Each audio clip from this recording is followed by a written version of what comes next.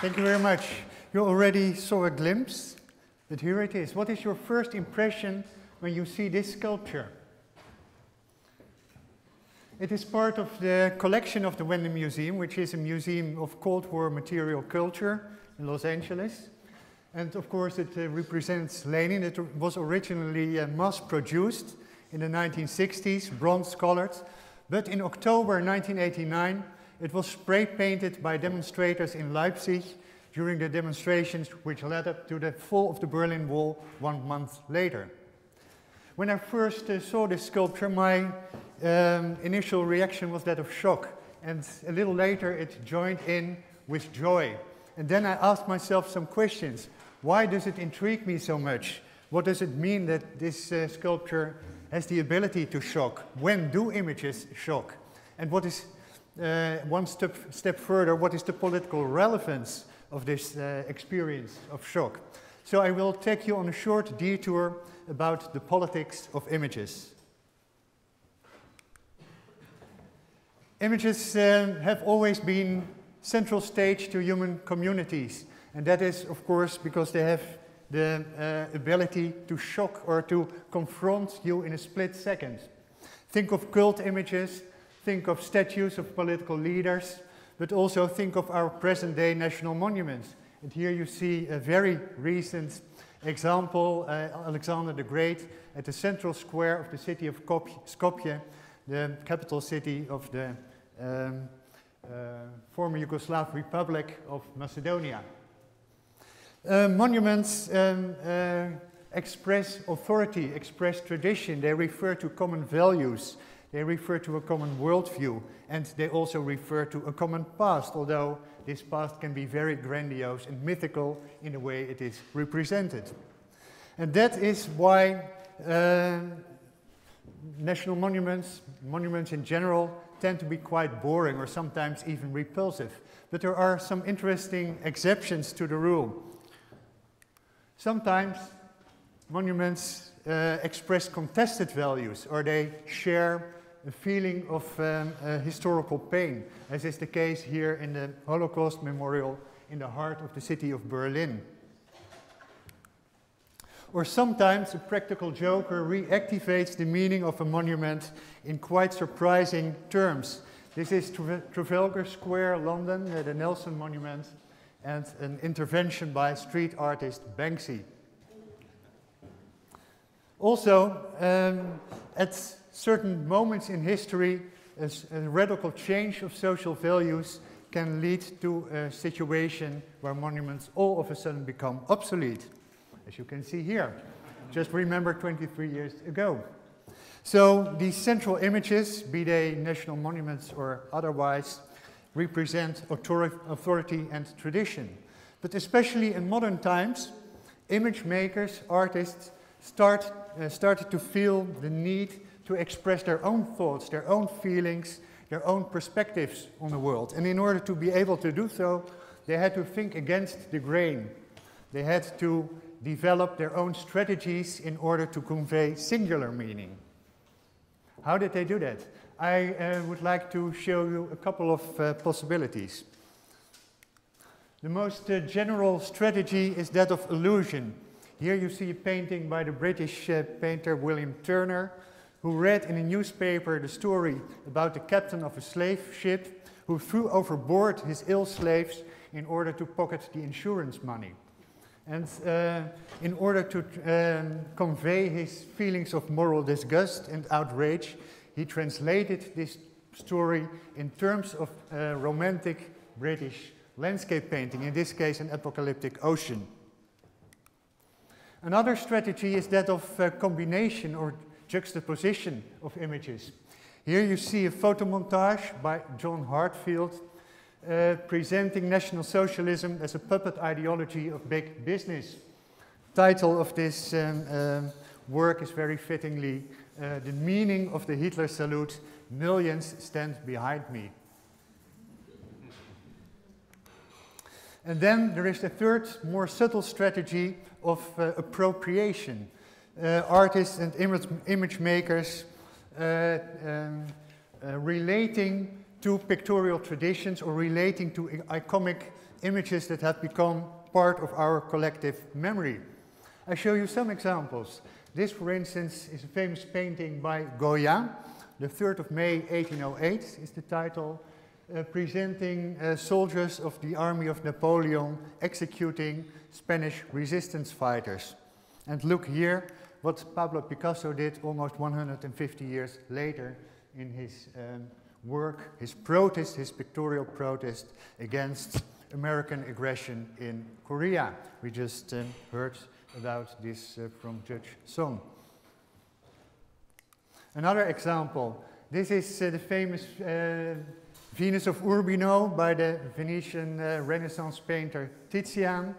Prime example of a very um, highly valued art historical uh, tradition of the female nude as allegory, as personification, as ancient goddess. And this is what Edouard Manet in the middle of the 19th century did to Titian's goddess, turning her into a Parisian prostitute, looking at the viewer, looking at you, and inviting you as her next customer. And the final example, this is another iconic painting by romantic German uh, landscape painter Caspar David Friedrich, Wanderer Above the Sea of Fog, an icon of artistic and philosophical reflection on nature. And again, 150 years later, this is a work by Anselm Kiefer from the photographic series Occupations, uh, in more or less the same composition, but with one uh, minor difference. As you can see, he's bringing the Hitler salute to the sea. So, of course, this is more than just a play on forms or a play on composition. The artist is also asking intriguing and irritating questions about possible continuities in German cultural histories by appropriating this iconic image. On a more funny side, you could argue that maybe the most um, um, effective way of subverting pictorial tradition is by just changing nothing at all except the context. This is a prize-winning uh, poster design by a Yugoslav um, artist colle uh, collective, Neue Slowenische Kunst, for the celebration of Youth Day in 1987 in former Yugoslavia. Prize winning, but I assume that the jury was not very pleased to learn that it's actually an almost exact copy of this 1930s National Socialist poster by Richard uh, Klein, with some minor differences. Just uh, look at the flags. Uh, uh, to the right, the swastika you can recognize. To the left, a socialist storm. And another minor detail, on the staff uh, of the right image, you see a German eagle. On the staff of the left image, it magically transformed itself into a socialist peace dove. Now, you might argue this is not very surprising because we are talking about two totalitarian systems, and as we all seem to know, pictorial traditions in totalitarian systems are reduced to political propaganda. But then I will show you one more example. This is the cover of the September 2012 issue of the National Review, featuring former president's candidate Mitt Romney and his running mate, and his running mate Paul Ryan. And as one astute uh, observer all of a sudden recognized, it combines very beautifully with this Soviet poster from Stalinist times, early 1950s, with a Soviet worker and a Soviet farmer. So it shows that pictorial borrowings and pictorial um, um, uh, appropriations don't hold before ideological uh, borders, even if they are east-west borders. So far I've been talking about the power of artistic traditions on the one hand, and different strategies by visual artists, image makers on the other hand, to convey singular meaning, to express their own perspectives. But what about the role of the image users? As images tend to be interpretable in various ways, the uh, role of the image users can become very prominent and very important. And uh, as a last part of my presentation, I will give you some remarkable example. Uh, I will be talking about American abstract art in the context of the Cold War.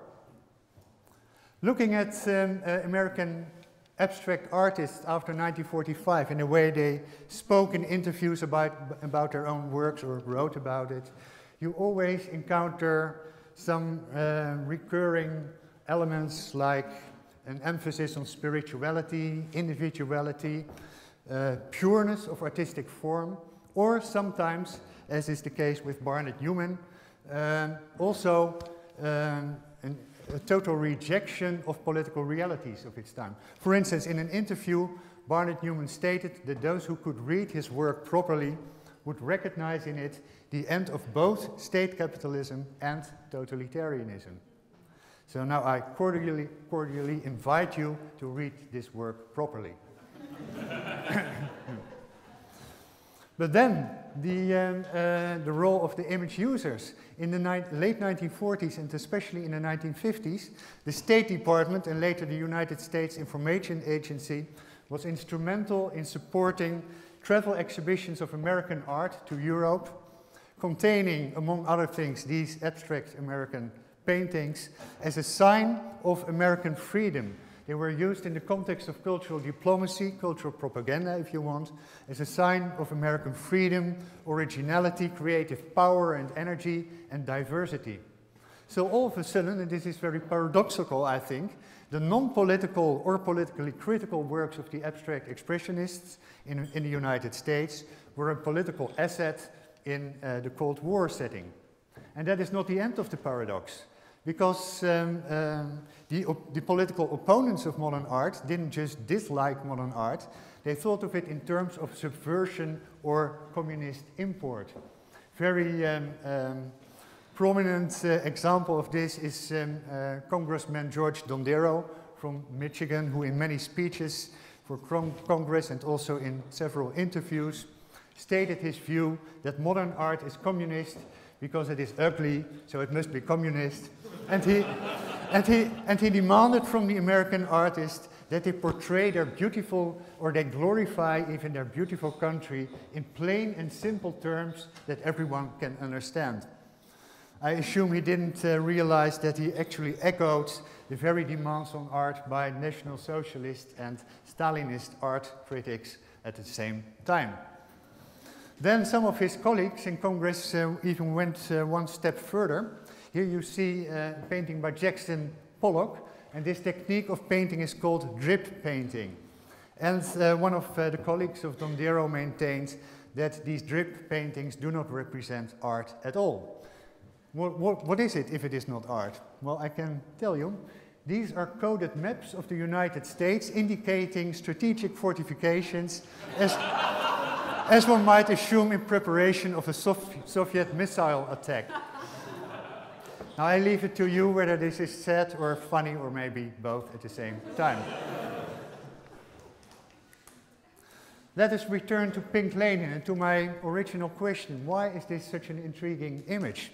We just heard, or uh, we just discussed, how image users in the context of the Cold War could reduce singular images in terms of state interests or in terms of enemy ideologies.